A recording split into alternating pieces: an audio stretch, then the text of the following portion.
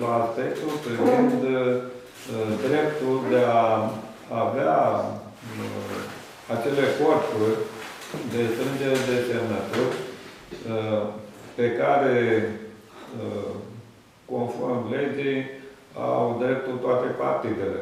Dar, uh, uh, la nivelul Brăilei, uh, în discuțiile care le-am avut cu domnul primar și cu uh, reprezentanții celelalte ai primăriei, uh, nu ni s-a aprobat acest drept, uh, argumentându-se că ar fi o uh, hotărâre de Consiliu Local prin care nu uh, se mai permit astfel de aspecte. Adică, uh, deci, se vor folosi doar panourile electorale uh, și nu se acceptă votul.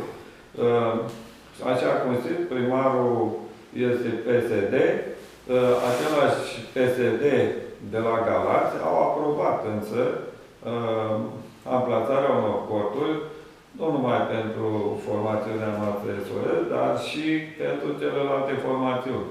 Și în alte localități din uh, România s-au aprobat uh, astfel de, uh, deci, de amplasări de corturi.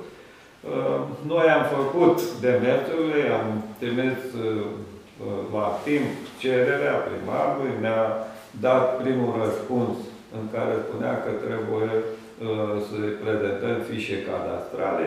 I-am prezentat fișele cadastrale. Uh, Ne-a ne mai trimis al doilea răspuns care este identic uh, și în care spuneți să-i mai prezentăm încă o dată fișele cadastrale care deja le-am depus și fapt pentru care am făcut o cerere prin care i-am solicitat să ne răspundă conform cărei legi sau, eu știu, alte măsuri legale, nu ne acceptă acest lucru.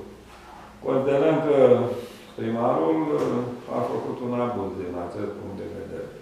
Și chiar vă întreb, există o hotărâre de Consiliul Local, ați auzit, prin care se interzic corturile prin instalarea astfel de uh, corturi pentru strângerea de semnături. Eu până în prezent n-am auzit. Aștept răspunsul de la primărie și o să vi prezint dacă mi-l vor da.